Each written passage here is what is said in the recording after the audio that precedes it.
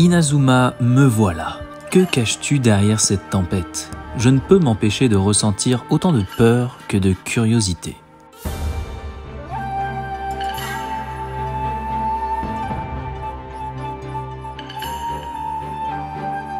Nous ne sommes pas les bienvenus dans cette partie cachée de Tevat, et pourtant il va bien falloir que ce mystère soit élucidé.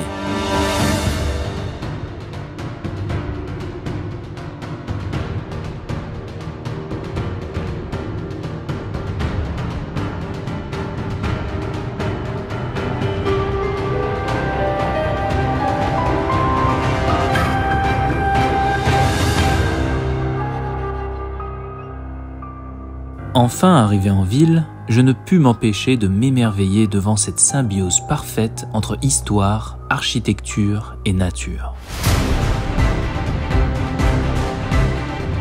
Il y avait pourtant un système bien en place, strict, dicté par une figure mystérieuse dont il valait mieux à voir en peinture.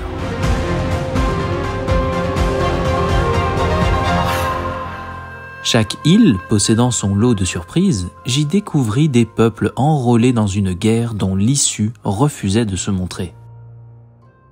Grâce à nous, et un coup de pouce du destin, nous parvenions à rallier les deux camps et trouver un terrain d'entente pour que la paix puisse prospérer.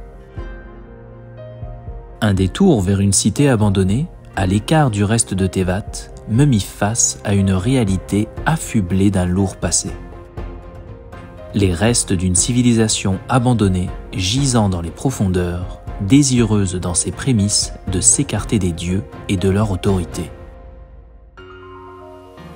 Ce n'est qu'au terme d'un combat contre la création de celle qui avait isolé cette région du reste du monde que je pus enfin m'en émanciper.